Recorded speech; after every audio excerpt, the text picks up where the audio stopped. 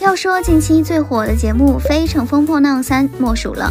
光是嘉宾阵容就足以把观众的胃口吊到极点。《乘风破浪》第一季横空出世，刷爆热搜。之所以受大众喜欢，自我觉得一个主要原因就是太真实了。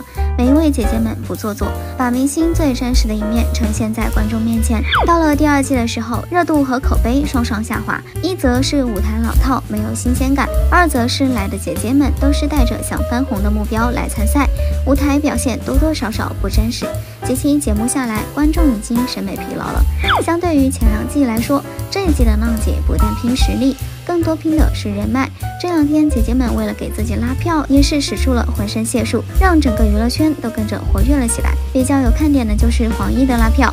圈内好友古巨基、黄晓明、蒋勤勤纷纷捧场为他打 call。Twins 二十一周年，阿娇阿 sa 也是难得合体。霍汶希发文给他们助威拉票。张天爱人缘真的是好啊，吴京、谢楠一家为他打 call，连吴京的儿子也被迫营业了。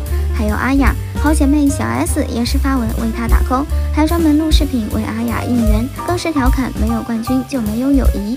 再者，小 S 的助威发文，很多网友看了之后直呼不舒服。他话里话外多多少少有另外一层意思。阿雅，即便你再优秀，即便你取得多少的成绩，到了我这里都是第二名，真正第一的只能而且永远是我。虽然小 S 一向喜欢开玩笑，但是这种调侃的话语说多了，即便闺蜜关系再好，也会伤感情了吧？不少网友也是吐槽欺人太甚了。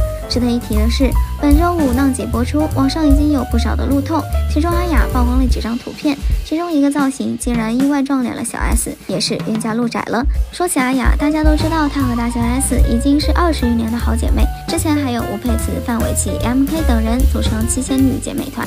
但是这个姐妹团，阿雅一直是一个比较特殊的存在。说白了，除了阿雅，每个人都是风云人物，每个人颜值都能称霸，风影视、歌舞、主持到处跨界，都有他们的身影。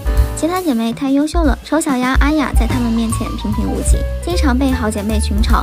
参加节目时候，也是她们取乐的素材。我们是真正的朋友。这档节目中，当着镜头的面，大小 S 直言她的腿短。身材五五分，长相太大众还很土，观众听了这样玩笑话都怒气冲冲，何况是本人亲耳听到好闺蜜的吐槽，那种心情只有阿雅本人能体会到了。